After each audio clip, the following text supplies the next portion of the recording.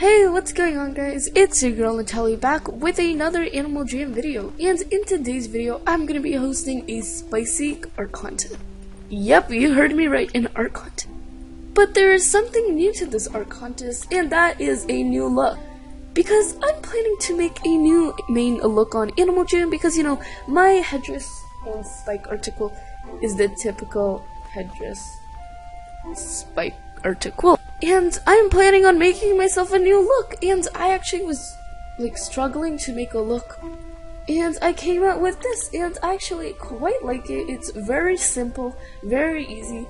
So this is what I'm going and this is what you have to draw for the art contest. So here is just has the socks, that thing, whatever called, and the gazelle horns.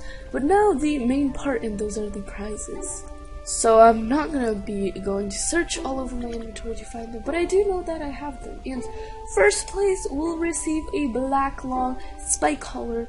Second place will receive a purple long collar, and third place will receive a blue long collar.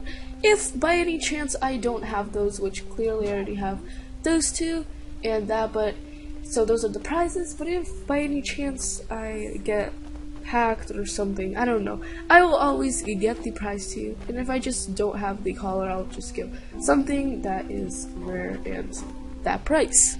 So that is it for today, guys. I have no idea when this art contest will actually. I will probably be letting it go for about a month. And also, when you have your art finished, leave a link down below to your art or post a video on your channel about and tell me in the comment section down below because I definitely want to see it. And call the art Nutelli art contest if it's a video. And that's all you have to do to enter into the art contest. I hope you guys do and yeah, see you in my next video. Bye! P.S. guys, you will get a bigger chance of winning if this is done digitally. I am planning on using this art for either my profile picture if you do it in the circular shape of it icon or my banner because I yeah I, this is a new look and if it turns out well I'll have it my new main look and I'll get a new intro.